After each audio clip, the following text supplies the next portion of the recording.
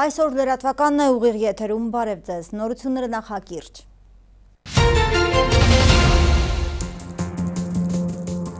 Դանակահարություն Գյումրիում, կրծկավանդակի աչկեսի կտրած ծակած թափանցող վերք վնասվածքով բուժօգնության տեղափոխված Գյումրու 35-ամյա բնակչի վիճակը շարունակում է մնալ կայուն ծանր։ Հուլիսի 7-ին Գյումրու Շահումյան եւ Տերյան փողոցների խաչմերուկում վրա երթից տուժած 1950 թվականին ծնված քաղաքացին մահացել է։ Դատախազության 2016 թվականի գործունեության մասին հաղորդումի քննարկում. Կենտրոնական ընտրական հանձնաժողովի, ապա մարդու իրավունքների պաշտպանի 2016 թվականի հաշվետվություն, ազգային ժողովի արտահերթին։ Գյումրի գետակը մաքրվել է աղբից, նաև նոր աղբամաններ եւ համապատասխան միջոցառումներ հետագա աղտոտումը բացառելու նպատակով։ Թորոսգյուղի նոր եկեղեցին նախկինի տեղում, բարերարը խոստացել է ավարտին հասցնել եկեղեցաշինությունը։ Ընտանեկան հանգստի նոր մշակույթ Գյումրիում, ընտանեկան փառատոն խորագիրը կրող երիտասարդական նախաձեռնությունը կենտրոնական զբոսայգում։ Բակային ֆուտբոլի առաջնություն Գյումրու թաղամասերի թիմերի մասնակցությամբ, հավաքատեղին լոկոմոտիվ խաղադաշտն է։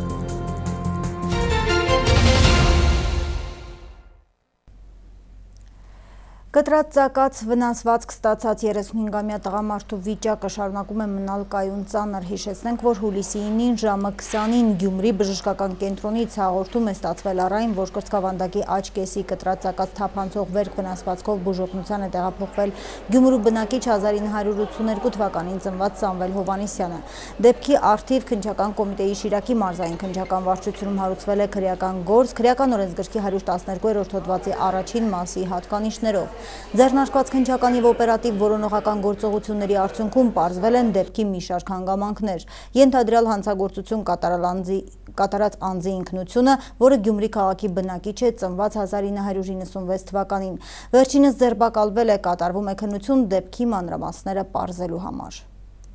Հիվանդը ընդունվել է մեր մոտ ուրեմն կրծքավանդակի աչկեսի կտրած ցակած թափանցող վնասվածքով, ուրեմն հեմոպնևմոթորաքսով, տրավմատիկ շոկով, արակարկով հետազոտվել վերցրվել է տրենավորման, տրենավորվել է հիվանդը, գտնվում է հիմա վերակենտանացման բաժանմունքում, վիճակը կարելի է գնահատել կայուն ծանր,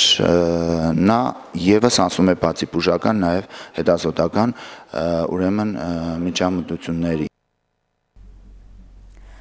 Հուլիսի 7-ին վրաերթից տուժած քաղաքացին մահացել է, հիշեցնենք դեպքը տեղի էր ունեցել ժամը 4:50-ի սահմաններում Գյումրու Շահումյան եւ Տերյան փողոցների խաչմերուկում։ Ավտոմեքենայի վարորդը վրաերթերի ենթարկել 67-ամյա տղամարդու եւ դիմել փախուստի, տուժողը մարմնական վնասվածքներով տեղափոխվել էր հիվանդանոց։ Նույն օրը ժամը 8-ին ինքնական ոստիկանություն էր ներկայացել 31-ամյա տղամարդ եւ հայտնել, որ Շահումյան եւ Տերյան փողոցների խաչմերուկում ՎԱԶ 2106 մակնիշի ավտոմեքենայով հիշյալ տղամարդուն վրաերթի է ենթարկել ինքը։ Հուլիսի 8-ին ժամը 20:15-ին վրա երթի ենթարկված քաղաքացին 1950 թվականին ծնված Նորիկ Սարգսյանը հիվանդանոցում մահացել է։ 20-15-ի սահմանում ուրեմն ընդունվել է ծայրահեղ ծանր վիճակում, շոկ շոկային վիճակով, բազմ պոլիտրավմայով, բազմագի կոտրվածքներով, անթվարկելի կոտրվածքներով եւ նաեւ ուրեմն երակների ստորին վերջույթի ցախ ստորին վերջույթի երակների եւ զարգերակների պատրվածքներով հիվանդը ենթարկվել է իարգե վերահատությունների բավականին շատ ու երկար, բայց կյանքը փրկել չի հաջողվել։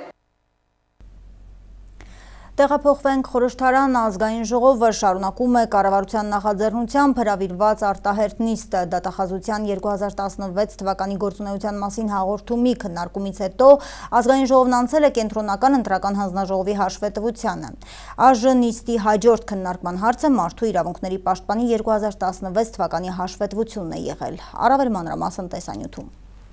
Քուանշ պարոն գլխավոր դատախազ։ Քուանշ պարոն գլխավոր դատախազին Նիկոլ Փաշինյանն այսպես վերնագրեց իր ելույթը ու անցավ հանրային մեծ հնչեղություն ստացած 4 քրեական գործերին։ Ինչպես ինքը նշեց, 4 բլոկով էլ քուանշեց դատախազին։ Անդիմադիր падգամավորը նաև մեջբերեց օրեր առաջ Արթուր Դավթյանի հայտարարությունը, թե դատական համակարգում կոռուպցիոն ռիսկերը զրոյացված են։ Պատասխանեց կրկին թղթախաղի լեզվով։ Այստեղ պիտի ասեմ, չարփինջը կապույտ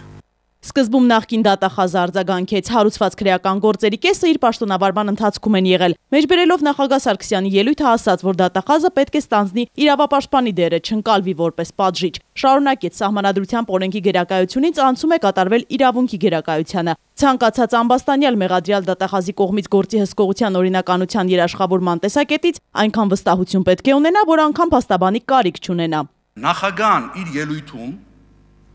ցույց տվեց քաղաքական կամքի այն դրսևորումը, որի փաստացի իրականացումը դատախազության կողմից եւ իրավապահ համակարգի կողմից այս դահլիճում դահլիճից հնչեցրած հասարակության մեջ արկա մտահոգությունների 99%-ը լուծողը առնվազն Ամբիոնին մոտեցավ գլխավոր դատախազը։ Նա падգամավորների բոլոր հարցերը պատրաստ է քննարկել աշխատանքային ձևաչափով։ Եվս մեկ անգամ մանրամասն անդրադարձավ Արթուր Սարգսյանի կալանավորմանը։ Շեշտեց հաց բերողի մահվան շահարկումը կոռեկտ չէ։ Արթուր Դավթյանը անընդունելի համարեց իրեն ուղված բարձրագոչ պահանջը հանցագործ պաշտոնյային հայտնաբերելու ու խիստ պատժելու լրագրողի գործունեությունը խոչընդոտողին պատժելու վերաբերյալ։ Դա իր պարտքն է։ Ոչ ոք ինձանից չպահանջել, չպահանջեց քննարկման առարկա հաշվետու ժամանակահատվածում մեր երկրի համար բացառիկ հանցանք կատարած շուրջ 15 օր երկրի անդորը խաթարած կազմակերպված զինված խմբի անդամների արդարացի պատիժն ապահովել։ Հերթը կենտրոնական ընտրական հանձնաժողովի նախորդ տարվա հաշվետվությանը հասավ։ Տիգրան Մուկուչյանը հազվադեպ է առողջ քննադատություն լսում, որն է վարչական ռեսուրսի չարաշահումը, բնության մեջ նման երևույթ կա, հետաքրքրվեց ընդդիմադիր падգամավորը։ Վարչական ռեսուրսի չարաշահումը կատվին անման, որ ոնց շփրտում ես, էլի ոտերի վրա կանգնում է։ Կամ էլ ձեր հայտարարությունից ես խոսքերից ընդհանրապես հիշեցի սովետական միության մի հատ շատ հայտնի բան ասացված, երբ որ սովետական միության կառավարությունը պաշտոնապես հայտարարել էր, որ սովետական միությունում սեքս չկա։ Բնականաբար կան երևույթը, որովհետև դրանով պայմանավորված ընտրական օրենսգիրքն ունի կանոնակարգում եւ այնտեղ սահմանված է, թե որը կարող է համարվել վարչական ռեսուրսի չարաշահում։ Տիգրան Մուկուչյանին տրվող հարցերը դուրս են նրա լիազորություններից։ ԿՀ նախագահին օգնության հասավ Գևորգ Կոստանյանը։ Եթե հարցերը գլխավոր դատախազին ուղվեին, ավելի սպառիչ պատասխաններ կհնչեին։ Եթե Մուկուչյան Տիգրանը աղբանոցից գտած փաստաթղթերի հիման վրա իրավական ընթացքեր ընթացակարգերը տաներ այնպես որ ընտրական գործընթացի մյուս մասնակցի իրավունքները խախտեր ես ես ինքս էլ իրան դատի կտայի անկեղծ եմ ասում Պատգամավորները հատկապես բարձրաձայնեցին ընտրախախտումների ընտրական գործընթացի հանդեպ հասարակության անվստահության մասին։ Էդուարդ Շարմազանովը զարմացավ, ինչու են ելք ու ծառուկյան խմբակցությունները հիմա խոսում, այլ ոչ ապրիլից հետո։ Դիմացինի վրա ցեղ շպրտելով սեփական քաղաքական կշիռը չի ավելանում եզրափակեց Շարմազանովը։ Վերջում հաշվետվությամբ հանդես եկավ մարդու իրավունքների պաշտպանը։ Կենտրոնական ընտրական հանձնաժողովի հաշվետվությանը Ծառուկյան Դաշինքի падգամավոր Վարդևան Գրիգորյանը կենտրոնական ընտրական հանձնաժողովի նախագահ Տիգրան Մուկուչյանից հետաքրքրվել է, թե 2016-ի հոկտեմբերի 2-ին Գյումրիում կայացած թիմ ընտրությունների ժամանակ էլեկտրական սարքավորումները որքանով են արդարացրել իրենց։ Վարդևան Գրիգորյանը նաև հարց է բարձրացրել, թե ընտրական նոր օրենսգիրքը արդյոք հեղկման կարիք չունի։ Պարոն Մուկուչյան, Ուրեմն Գյումրի ավագանի ընտրություններից հետո գիտեք ինչ է շրջանառվում Գյումրիում գյումրեցիների կողմից, որ պարոն Մուգուչյան, մենք ցես ինչ վատություն էինք արել, որ դուք մեր 66% ցայները անտեսեցիք ու 34% ցայն ունեցող Պալասանյան Սամվելին կարկեցիք, հա, Գյումրիի քաղաքապետ։ Կարկելը գիտեք ինչ է, չէ՞, նշանակեցիք Գյումրի Գյումրիի բարբարով։ Արդյոք չեք գտնում, որ այդ օրենքը ունի լուրջ թերություններ եւ որպես կիրառական մասի պատասխանատու, որովհետեւ դուք եք կիրառության մեջ տնում այդ օրենքը, ձեր կողմից կլինեն առաջարկություններ այդ օրենքում փոփոխություններ կատարելու, որովհետեւ մենք խոսում ենք համանadrությունից, որ ժողովուրդն է ձևավորում իշխանությունը, փաստորեն այսօր 66% ժողովրդի կողմից ձայն ունեցող կուսակցությունները գործնականում չեն կարող իրենց աշխատանքը իրականացնել ոչ օրեսթիրում որպես ավականներ, ոչ գործադրում։ Շնորհակալություն։ էության այստեղ հանձնաժողովի կամ իմ կողմից որևէ մեկին կարգելու խնդիր չի եղել, դա ընտրական օրենսգրքով ամրագրված իրավակարգավորումների համաձայն բոնուսային համակարգի կիրառումն է տեղի ունեցել, իսկ ինչ վերաբերում է բոնուսային համակարգի կիրառմանը, ապա նման իրավակարգավորումներ բազմաթիվ երկրներ կիրառում են իրենց օրենսդրության մեջ, իսկ ինչպեսին կլինի կենտրոնական ընտրական հանձնաժողովի իրավակիրառ պրակտիկան կլինի այնպեսին, ինչպեսին կլինեն ընտրական օրենսգրքի իրավակարգավորումները, եւ այստեղ թերևս առ առաջինը, եթե նման խնդիր առաջ է քաշվում, ապա այն պետք է բարձրաձայնվի, որովհետև դա արդեն օրենսդրության քաղաքականության խնդիր է, երևի թե օրենսդրի կողմից, իսկ ինչպիսին կլինեն այդ կանոնակարգումները, դրանք լիարժեք ծավալով եւ նույնությամբ մենք պետք է կյանքի կոչենք առանց դրանցից շեղվելու եւ թերևս հենց այդ նույն նորմերի կիրառմամբ է իրականացվել այդ ընտրության արդյունքի ամփոփում Գյումրի գետակում իրականացվել են մաքրման աշխատանքներ։ Հրահանգը տրվել էր օրեր առաջ Շիրակի մարզպետ Արթուր Խաչատրյանի կողմից։ Վիճակն առավել անհանգստացնող էր Արապիի վարչական շրջանում ու ավտոկայանի այն հատվածում, որտեղով անցնում էր գետակը։ Մոտ 10 ավտոմեքենա աղբ է դուրս հանվել գետակից ու տեղափոխվել քաղաքային աղբավայր։ Տարածքում տեղադրվել են նաև նոր աղբամաններ։ Գետակն ամբողջությամբ մաքրվել է, հիմա ձեռնարկվելու են համապատասխան միջոցառումներ գետակի աղտոտումը բացառելու նպատակով։ Մինչև աշխատանքներ իրականացնել այստեղ վիճակը նկարահանված էր, գիտեն տեսել եմ պատկան մարմինները։ Աշխատանք տանելուց հետո դուք ինքներդ տեսնում եք, հսկայածավալ աշխատանքներ կատարվեցին, համայնքապետի ամիջապես հսկողության տակ անկամինքներ օգնում աշխատանքները կատարելիս։ Փառք Աստծո տեսնում ենք ջարի քչքչոցը լսում ենք, մաքրությունը տեսնում ենք, եթե այսպես շարունակվի շատ լավ է։ Նոր եկեղեցի նախկինի տեղում Թորոզ գյուղում տարիներ առաջ դրվեց առաջին քարն ու շինարարությունը կարճ ժամանականց դադարեցվեց։ Բարերարը խոստացել է ավարտին հասցնել եկեղեցաշինությունը։ Շիրակի թեմի առաջնորդն այս գիրակի պատարակել է Թորոզ գյուղում։ Սրբազանը համայնքաբնակներին հորդորել է անտարբեր չմնալ Աստծո տան կառուցման հարցում պատմել եմ, որ այստեղ պահված է մի հատ սուրբ գիրք, որը բերված է Արևմտյան Հայաստանից։ Գիրքը պահվում է հենց այստեղ, բայց կշկին անգամ ինչպես տեսնում եք, փորձ է արվել, նայեք, հարվածների տեղեր կան, որ փորձ է արվել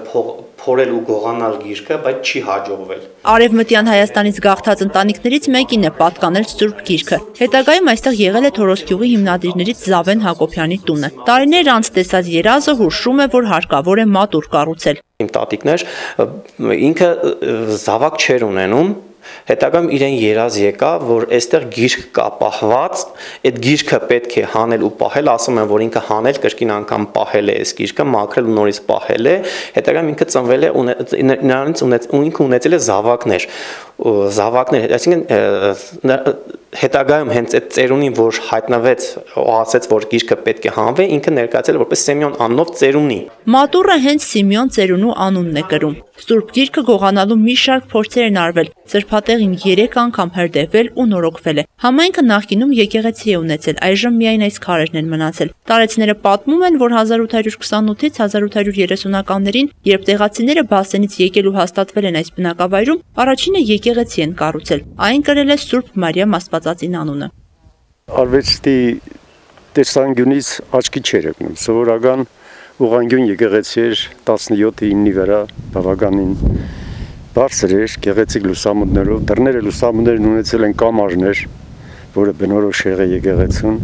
Եկեղեցին խորհրդային միության տարիներին պահեստ է եղել այնուհետև որպես պանտրի արտադրամաս է ծառայել։ Մինչև ամբողջությամբ քանդվելը վերածվել է դպրոցի։ Միասնիկ Հակոբյանը 50 տարվա մանկավարժ է։ Նա նախ սովորել, հետո աշխատել է այդ դպրոցում։ Քանդեցին եկեղեցա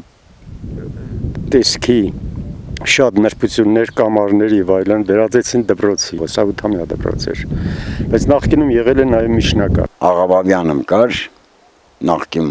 վարժաբել էին ասում, այն էլ մահացել չկա։ Տեղեն էր անցյալ տարի մահացավ,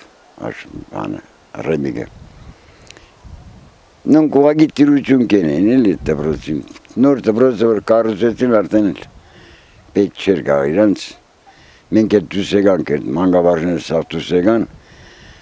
տարածությունից իրանք է սկսեցին քանդուկ հարաբնել։ Տարիներ առաջ նոր եկեղեցու կառուցման գործը ստանձնում է ծնունդով Թորոս գյուղցի ազգային ժողովի նախկին падգամավոր Աշոտ Աղաբաբյանը։ Շինարարական աշխատանքները որոշ ժամանակ անց դադարեցվում են ֆինանսական խնդիրներով պայմանավորված։ Շիրակի թեմի առաջնորդ Միքայել եպիսկոպոս Աջապահյանը Թորոս գյուղի մշակույթի տանը մատուցված պատարագի ժամանակ նշեց, որ բարերարը խոստացել է շարունակել սկսածը։ Սրբազանը համայնքաբնակներին հորդորեց մասնակից լինել Աստծո տան կառուցման գործին։ Բարերած Աշոտ Աղաբաբյանը այդ ցանկությունը ունեցավ եկեղեցի կառուցելու։ Բայց գուցե իր գործերը ինչ որտեղ լավ չգնացին, ինչ որտեղ չհաջողվեցին, եւ ինքը չկարողացավ եկեղեցին ավարտին հասցնել։ Բայց խոստացել է դեռ ավարտին հասցնելու։ Բայց իր այս խոստումը կամ իր խոստումը խոստումանը սпасելը նշանակում է որ մենք պիտի անգործ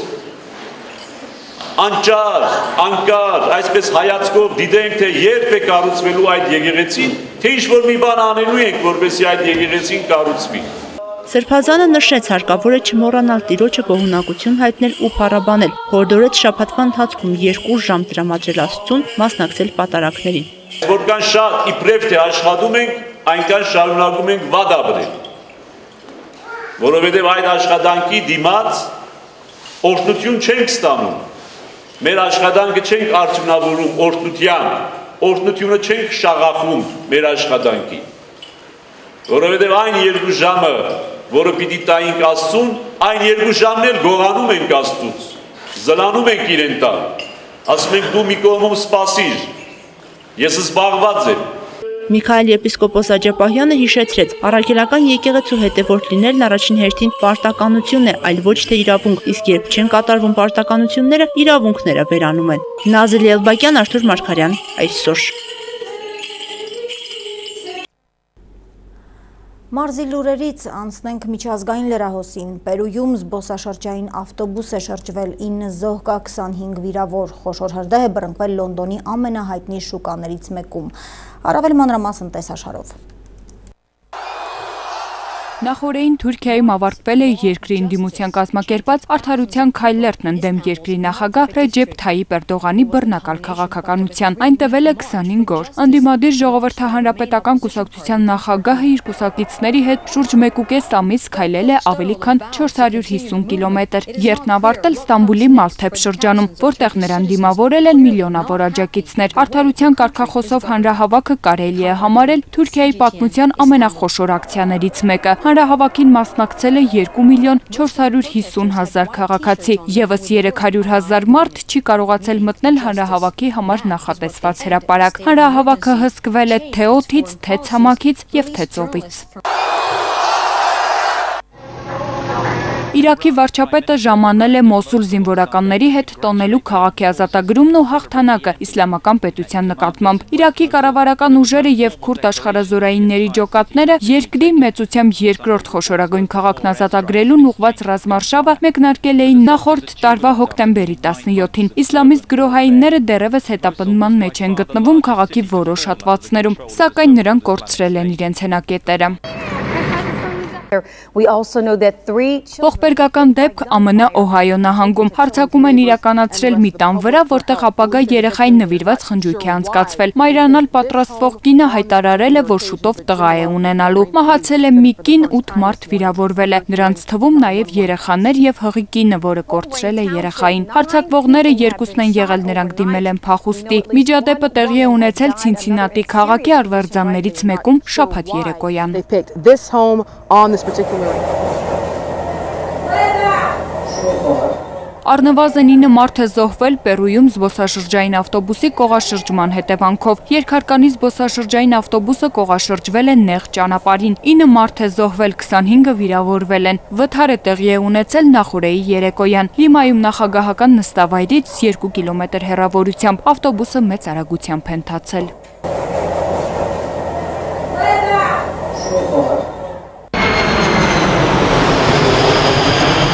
Կալիֆոռնիայում անտարային հրդեհները չեն նահանջում։ Մարդկանց տարհանման աշխատանքները շարունակվում են։ Շոկն ու երաշտը բարթացնում են աշխատանքները։ Ուժեղ քամիների պատճառով հրդեհի շուրջ 17 օջախ է գոյացել, որոնք տարածվել են։ Հատկապես ուժեղ օջախներ են գրանցվել Սանտա Բարբարա շրջանում, որտեղ դրանցից մեկը տարածվել է 93 հեկտար տարածքում։ Նահանգի տարբեր շրջաններում հազարավոր հրշեջներ են մոբիլիզացվել։ Հյուսիսում գտնվող ազգային պարկից մինչև Սան Բեռնարդինո։ Արդեն մի քանի տասնյակ տուն է այրվել կանտուժ ուժացներ։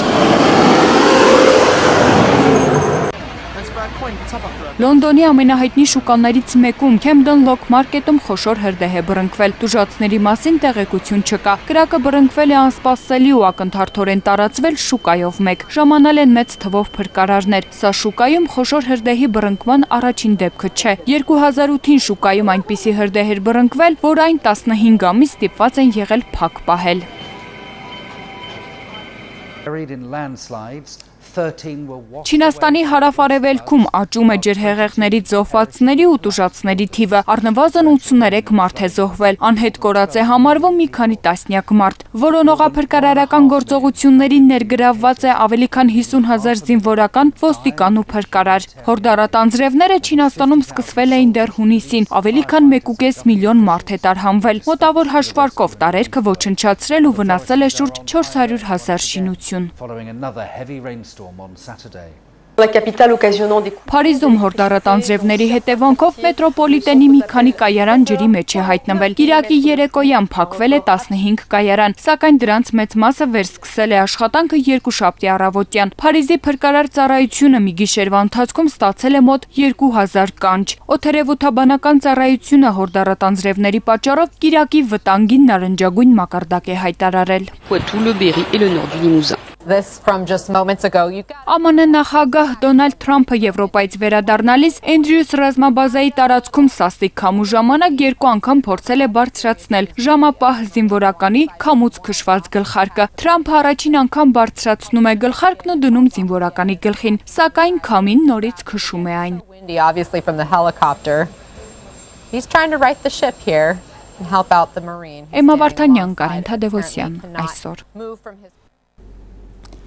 Գազպրոմ Մեդիա Հոլդինգ ժամանցային հերոստալիքների Սուպ Հոլդինգի և TNT հերոստալիքի ղեկավար Արթուր Ջանիբեկյանը դարձել է Ռուսաստանի մեդիա մենեջեր 2017-ի 8-րդ ազգային մրցանակի դափնեկիրը։ Մրցանակաբաշխությունն անցկացվել է հուլիսի 6-ին Մոսկվայում, Արթուր Ջանիբեկյանն արդեն 4-րդ անգամ է դառնում այս մրցանակի դափնեկիրը։ Մրցանակին հայազգի գործարարն արժանացել է Սուփոլդինգի արդյունավետ կառավարման եւ զարգացման, ինչպես նաեւ ժամանցային ու հումորային կոնտենտ ստեղծելու ասպարեզում ակնառու նվաճումների համար։ 90 հավակնորդից լավագույն թոփ մենեջերներին 4 փուլով ընտրել են հասարակական կազմակերպությունները, փորձագիտական խորհրդի անդամները, ժյուրիի եւ մրցանակաբաշխության հոգաբարձուների խորհրդի անդամները։ Բրիտանացի լրագրողները Հենրիխ Մխիթարյանին ֆիքսել են Մանչեսթերում Ֆրանսիայի հավաքականի նախկին ֆուտբոլիստ Ջիբրիլ Սիսեի նախկին կնոջ հետ ընտրելիս։ 42-ամյա Ջուդ Սիսեի հետ Մխիթարյանն ընտրել է իտալական Սան Կարլո Չիկետի ռեստորանում։ Հաղորդվում է, որ Ջուդ Սիսեն 2005 թվականին է ամուսնացել Լիվերպուլի նախկին ֆուտբոլիստ Ջիբրիլ Սիսեի հետ։ Զույգն ամուսնալուծվել է 2012 թվականին եւ 3 որդի ունի։ Նշվում է նաեւ, որ Ջուդ Սիսեն իր սեփական սպա բիզնեսն է վարում եւ որպես միայնակ մայր 5 փաստավա վավերագրական հաղորդաշարերի է մասնակցել, պատմելով իր կյանքի մասին։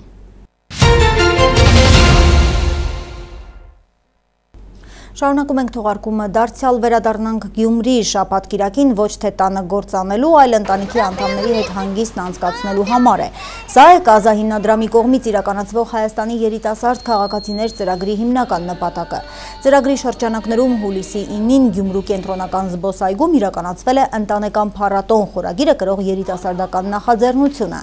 Կամավորների կողմից կազմակերպվել են բակային, սեղանի եւ ուսուցողական տարբեր խաղեր, կինոդիտում, այնուհետ աստղադիտում Այս ամենն ուղեկցվել է ռոքային կատարումներով։ Ըստ ծրագիրն իրականացնողների հարկավոր է ամեն կերպ նպաստել Գյումրիում ընտանեկան հանգստի մշակույթի ձևավորմանն ու զարգացմանը։ Ամբողջությամբ ինչ խաղեր, որ այստեղ կազմակերպվել են, հիմնված է երիտասարդների նախասիրությունների վրա, այսինքն իրենք ըստ երևույթին երազում են, որ իրենց ընտանիքներում այդ խաղերը խաղացվեն ընտանյոք հանդերձ, դրա համար էլ իրենք որոշել են այդպիսի խաղեր, վոլեյբոլ, ֆուտբոլ, ուսուցողական խաղեր, հյուրասիրություն, կինոդիտում, ընտանեկան կինոդիտում, աստղադիտում եւ համերգ։ Մենք որոշել ենք հանգստի մշակույթը զարգացնել տվյալ համայնքում, ինչու նաև ոչ Հայաստանում, սկսելով այս փոքրիկ միջոցառումից եւ նախաձեռնությունը կոչվում է Family Fest, այսինքն ընտանեկան փառատոն։ Մենք ուզում ենք, որ մարդիկ, հատկապես մեծահասակները կտրվեն իրենց առօրյա հոգսերից եւ փոքրինչ հանգստանան, թեկուզ եւ այստեղ բնության գրկում։ Իհարկե նման միջոցառումները դեռ այնքան էլ շատ չեն, բայց առաջ խաղացում կա, փորձում են կազմակերպել, ինտեգրվել նման միջոցառումներում, թեկուզ եւ նախաձեռնել այս ամեն ինչը եւ կարծում եմ սա մեկ օրվա համար չէ, սա որոշակի փոփոխություններ կբերի նաեւ ապագայի համար եւ մարդիկ կսկսեն ել ավելի շատ նման միջոցառումների մասին մտածել եւ կազմակերպել։ Տեղի մարզական ոլորտից բակային ֆուտբոլի առաջնություն Գյումրու թաղամասերի թիմերի մասնակցությամբ։ Հավաքատեղին Սևյան թաղամասի լոկոմոտիվ խաղադաշտն է, որը վերանորոգումից հետո երկրորդ տարին անընդմեջ ընդունում է նման մրցաշար։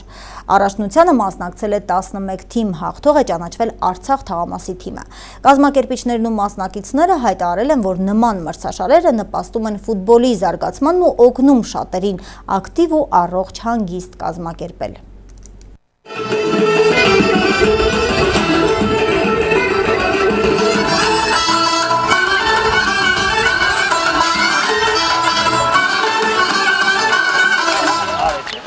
არის არის არის აჯოხავ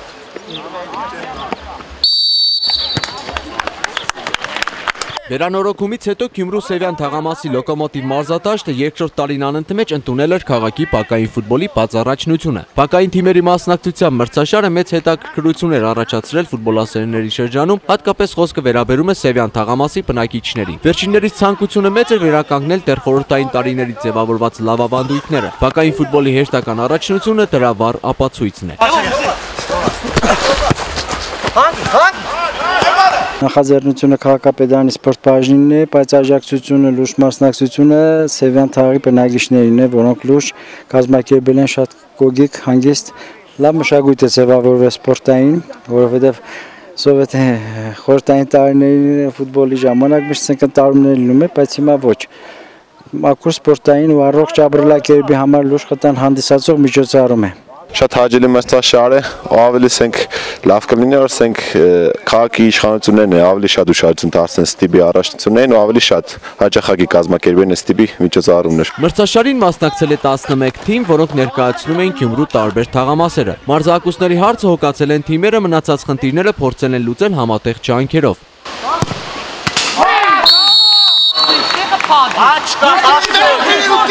Կոստովեն մրցավարության հետ կապված մեր տաղում բավականին լուրջ ֆուտբոլիստներ են եղել ժամանակին մրցավարությունը կազմակերպում են նախկին ֆուտբոլիստները,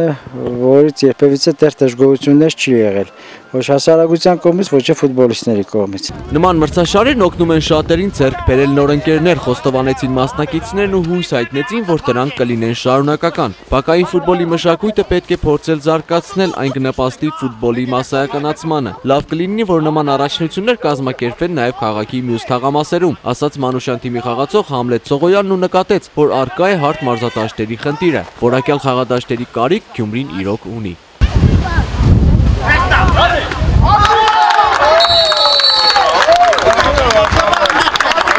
Իհարկե ցանկալի կլիներ, շատ ցանկալի կլիներ, բայց չգիտեմ իշքանով կստացվի, իշքանով չի ստացվի, բայց խաղում ենք։ Խաղում ենք սիրով, թեկուս հենց այս խաղատաշտում։ Գյումրու քաղաքապետարանի սպորտի բաժնի պետ Մեխակ Ղազարյանը նշեց, որ կփորձեն նման միջոցառումներ կազմակերպել այն թաղամասերում, որտեղ կան խաղատաշտեր։ Դրանց վերանորոգման աշխատանքների հետ կապված որոշակի դժվարություններ կան, սակայն Ղազարյանը բերեց սևյանցիների օրինակը, որոնք ակտիվ մասնակցություն են ունեցել ինչպես խաղատաշտի վերանորոգման, այլ նաև դրա հետագա խնամքի ու պահպանման հարցում։ Սպասվում է, որ հաջորդ տարի մրցաշարին կմասնակցեն նաև մարզի համայնքները ներկայացնող թիմերը։ Հավելենք, որ Գյումրու պակային ֆուտբոլի բաց առաջնության եզրափակում մրցեցին Սևյան ու Արցախ թաղամասերի թիմերը հաղթեց Արցախը։ Հապետ Հարությունյան, Արթուր Մարգարյան, այսօր։ Սա մեր թողարկման վերջին լուրներ, բարի լուրերով հագեցած շապատ եմ մաղթում, ցտեսություն։